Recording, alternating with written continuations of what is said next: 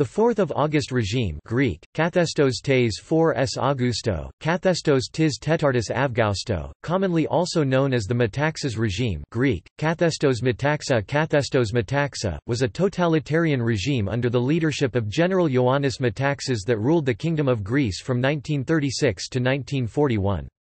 On 4 August 1936, Metaxas, with the support of King George II, suspended the Greek parliament and went on to preside over a conservative, staunchly anti-communist government. The regime took inspiration in its symbolism and rhetoric from Fascist Italy, but never developed into a fully fledged fascist dictatorship, and retained close links to Britain and the French Third Republic, rather than the Axis powers.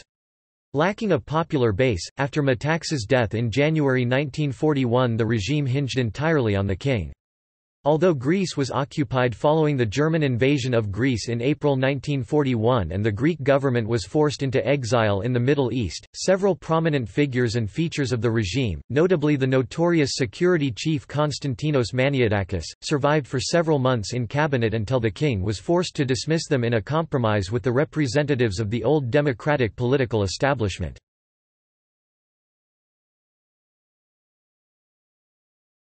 Topic: Origins of the regime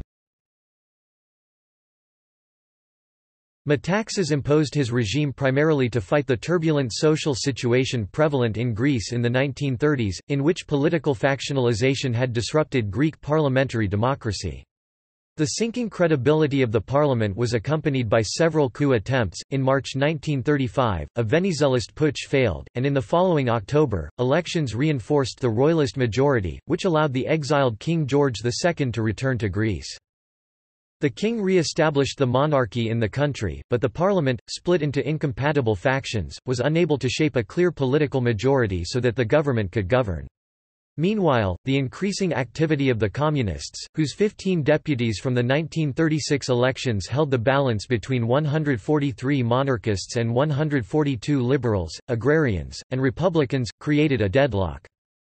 In May 1935 widespread agrarian unrest tobacco farmers and industrial unrest in the north of the country erupted, which eventually brought General Metaxas to suspend the parliament on the eve of a major strike, on 4 August 1936. Endorsed by the king, Metaxas declared a state of emergency, decreed martial law, annulled various articles of the constitution and established a crisis cabinet to put to an end the growing riots and to restore social order. In one of his first speeches, Metaxas announced, I have decided to hold all the power I need for saving Greece from the catastrophes which threaten her. Thus the Metaxas dictatorship was born, and the period of time which would follow was named after the day Metaxas rose to absolute power, 4 August.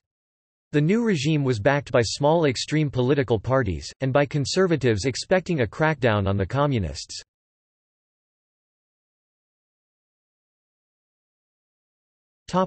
Classical influences The roots of Metaxas' new state were sought in Greece's classical history.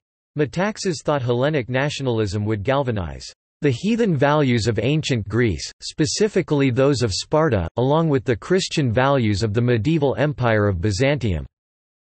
Ancient Macedonia was also glorified as the first political unifier of the Hellenes. As its main symbol, the youth organization of the regime chose the Labrys, Pelikes, the symbol of ancient Minoan Crete. The traditional Greek values of country, loyalty, family and religion, which Metaxas praised repeatedly, were also close to those of the ancient Spartans. The regime promoted the perceived Spartan ideals of self-discipline, militarism and collective sacrifice, while Byzantium provided an emphasis on a centralized state and devotion to the monarchy and Greek Orthodox Church.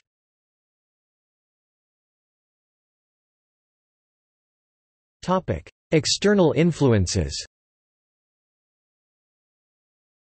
Metaxas considered Antonio Salazar's Estado Novo of Portugal his main inspiration and surrounded himself with elements from this and other dictatorial regimes of the time. Thus his main ideological slogan was also, "'New State' Neon Kratos and the 4th of August regime used its own military-like uniforms, greetings, songs and rituals, including the Roman salute which Metaxas considered Greek in origin as a salutation to the sun god Apollo, and he referred to it as the Hellenikos Herotismos, Hellenic hailing. In Metaxas' case we can speak as well of some characteristics typical of authoritarian states such as 1930s Italy and Germany. The regime's propaganda presented Metaxas as the first peasant, the first worker, and as the national father of the Greeks.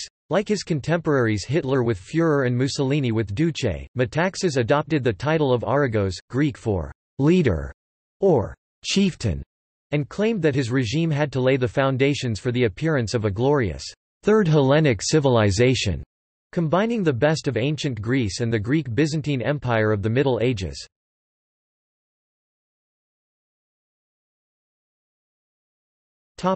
Greek totalitarianism The Metaxas regime sought to comprehensively change Greece, and therefore instituted controls on Greek society, politics, language, and the economy. In each of these, the Metaxas government resembled more closely the policies that Spain would adopt later on than those of their contemporaries Nazi Germany or Fascist Italy. Greece since 4 August became an anti-communist state, an anti-parliamentary state, a totalitarian state. A state based on its farmers and workers, and so anti-plutocratic. There is not, of course, a particular party to govern. This party is all the people, except of the incorrigible communists and the reactionary old party's politicians.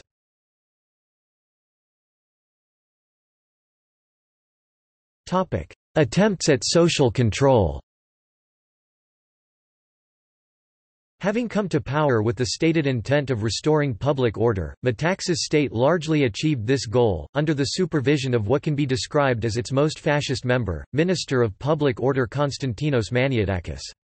Maniatakis created a second fake Communist Party, published a fake Rizospastis, and achieved the dissolution of all the communist organizations. Metaxas policies such as the censorship of the media, the banning of political parties and prohibition of strikes copied contemporary European authoritarian regimes. As its far-right contemporaries Italy and Germany, the Greek state also had its political police force, the Asphaleia, based upon the Gestapo its chief Maniatakis maintained a close relationship with Himmler on methods and techniques. The objective of Asphaleia was to secure public order. The regime also repressed the rebetiko music due to the uncompromising lyrics and favored the traditional Greek folk music. Hashish dens, baglamas and bouzouki were banned, or at least playing in the Eastern-style manner and scales. Probably inspired by the Völkisch movement, a massive promotion of the Greek folk music took place, though the radio and public festivals, mainly because of the animosity of the state towards the bouzoukis and the rebetiko music. On this point the Greek communist left agreed, considering the rebetiko as reactionary. Soon after its inception the regime severely repressed the communists and leftists.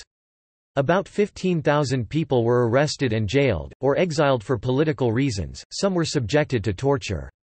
Metaxas' regime forced the Communist Party underground, and also attempted to dismantle the old system of loyalties of the Royalist and Venizelist parties. Those major forces however remained, as they had for the preceding decades, and re-emerged immediately after the four-year Metaxas regime. While Metaxas regime did play up a supposed communist threat in order to justify its repression, the regime is not known to have committed political murders and did not instate the death penalty. Dissidents were, rather, usually banished to tiny islands in the Aegean Sea. For example, the liberal leader George Papandreou was exiled to Andros. The Greek Communist Party KKE, meanwhile, which had already been outlawed, remained intact. Legal restrictions against it finally were ended in 1974 during Metapolitefsi.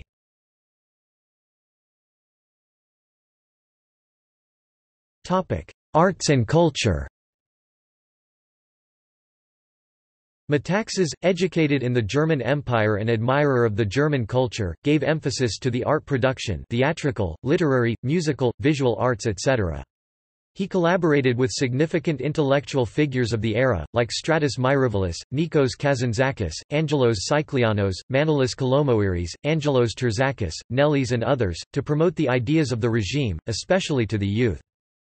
Another notable policy was the use and promotion of the Demotic Greek in the educational system but in a conservative form, instead of the Katharevousa. Manolis Triantafyllidis was appointed for the creation of the grammar.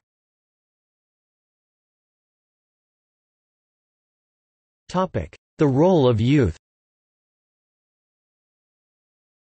In order to keep and maintain the values of the regime in future years, Metaxas gave birth to the Ethniki Organosi Neolayas, Ethniki Organos Neolayas National Organization of Youth, EON. The EON brought together youths of all economic and social strata into one single body. Boys' education emphasized discipline and physical training, while girls were taught to become supportive wives and caring mothers to breed a stronger, healthier new generation. The Eon published a fortnightly magazine called Neolaya, Neolaya Greek for youth, which had much influence both in schools and in higher education. Metaxas' vision was to create, through the youth, the Third Hellenic Civilization, a continuity of the ancient Greek and Byzantine civilization. The Eon was disbanded by the German-Italian occupying authority in Greece following its vigorous resistance of the invasion.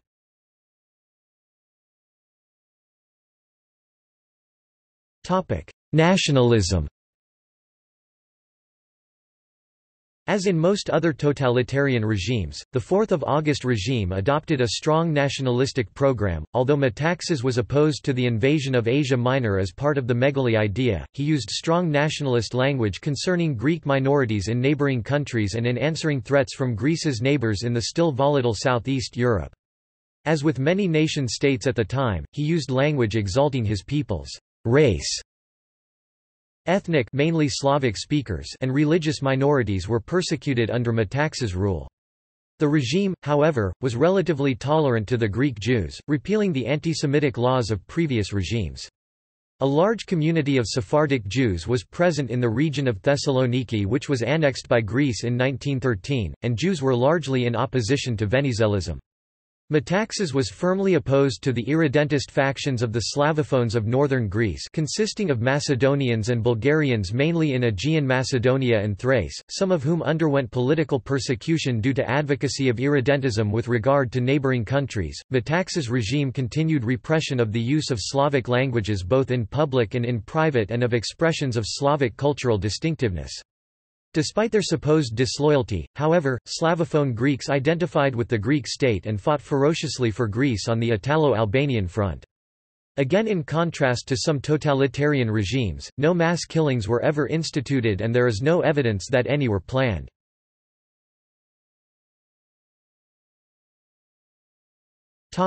Economic policy One of the 4th of August government's main objectives was the repudiation of the old capitalist system and its replacement with a corporatist economic system in order to promote national and social solidarity. This idea harmonized perfectly with Metaxas' convictions on social and national solidarity as well as his rejection of individualism and class struggle. The plan for the creation of a corporatist state was manifest in the early days of the regime by public declarations by Metaxas and by government ministers. To this end, Deputy Premier and Finance Minister Konstantinos Zavitzianos published details about a horizontal according to branches of production, not vertical according to social class, syndicalist organization of the state. However, due to the external crisis with Italy, the plan had to be temporarily postponed with the result that it never fully materialized. Metaxas' government, initially unpopular, also gained popularity through an elaborate program to socialize the Greek economy, including unemployment insurance, maternity leave, a five-day, 40-hour workweek, guaranteed two-week vacations with pay or two weeks double pay in place of the vacation, Stricter work safety standards. Many elements of this program persist in Greek economic policy. Metaxas' regime founded the Workers' Center, Ergatiko Kentro which was established to look after workers' housing and recreation, among other things. The 4th of August regime initially stabilized the drachma, which had been suffering from high inflation. Exploiting the newfound solidity of the currency, Metaxas' government embarked on large public works programs such as the Ellinikon International Airport, including land drainage, construction of railways, road improvements, and modernization of the telecommunications infrastructure. Metaxas' economic program met with initial success, with a marked rise in per capita income and temporary decline in unemployment in Greece between 1936 and 1938 unemployment skyrocketed after 1938. Capitalizing on this success, the government instituted debt relief for farmers and instituted price floors on some agricultural goods to redistribute wealth to the countryside. Also, on the legislation sector the Greek Civil Code, was finally completed by a jurist commission, a plan pending since the years of Otto of Greece.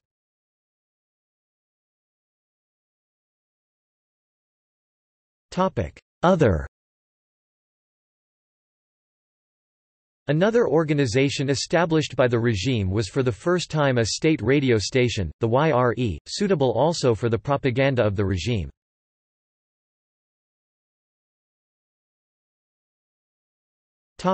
Differences from other totalitarian regimes There is some debate over how the regime relates to other totalitarian regimes of the 1930s, especially Italian fascism and German Nazism. Richard Clogg argues that while the regime had superficial trappings of fascism, and Metaxas did not disguise his admiration for Nazism and fascism, it is more correctly categorized as paternalist authoritarian rather than fascist. Some of the main and important differences of Metaxas' regime as compared to fascism proper include the anti-imperialist speech of the regime the pro-Jewish stance of Metaxas and tolerance to religious minorities. The emphasis on the progress of the Greek arts and culture as a plan for the Third Hellenic civilization. Absence of a mass political base for the regime, in the form of a political party or movement. No representative architecture or monuments.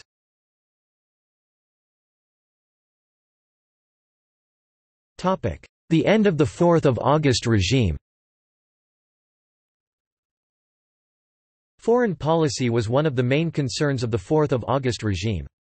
Metaxas, who had studied in Germany as a youth, was pro-German, while the king was pro-British.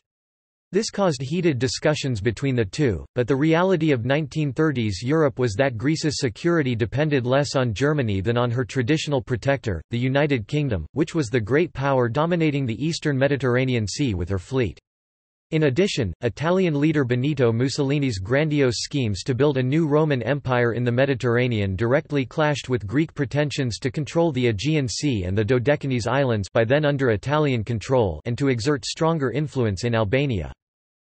As tensions and threat of war increased in Europe just before World War II, the situation was almost exactly the same as the position before World War I, when Greece had strong pro-German affinities in government, but it depended on Britain for its security. Most observers were anticipating Greece would attempt to remain neutral. Metaxas indeed attempted to maintain strict neutrality, but Italian expansionism eventually led to an Italian ultimatum and to the Greco-Italian War. However, Greek forces repelled the Italian invasion completely and brought the Italian soldiers back into Albania, where the invasion had been launched. In fact, some territories in Albania where a Greek minority lives were claimed to be liberated and Metaxas' plans were to unite them with the rest of Greece. Metaxas died suddenly in January 1941 among dark circumstances. His death raised hopes of a liberalization of his regime and the restoration of parliamentary rule, but King George quashed these hopes when he retained the regime's machinery in place. In the meantime, Adolf Hitler was reluctantly forced to divert German troops to rescue Mussolini from defeat, and began Battle of Greece through Yugoslavia and Bulgaria on 6 April 1941. Despite British assistance, by the end of May, the Germans had overrun most of the country. The king and the government escaped to Crete, where they stayed until the end of the Battle of Crete. They then transferred to Egypt, where a Greek government in exile was established. Meanwhile, in Greece a fascist puppet government was placed into power by the Axis.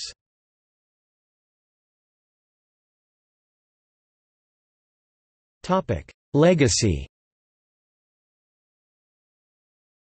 As the Axis occupation ended, Greece descended into civil war between the communist-dominated forces of the left, operating in Greece and from bases in the south of Yugoslavia, and the US and UK aligned forces of the political right. This was the first major protracted combat of the Cold War, one of the first exercises in U.S. policy of containment, and a subject of the Truman Doctrine of U.S. President Harry Truman. The alignments were quite different from the Venizelist monarchist national schism, as most Venizelists supported the right-wing alliance during the Civil War.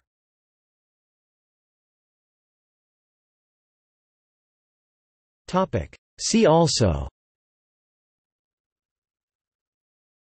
Fourth of August Party 1938 Greek coup d'état attempt Golden Dawn Regime of the Colonels Footnotes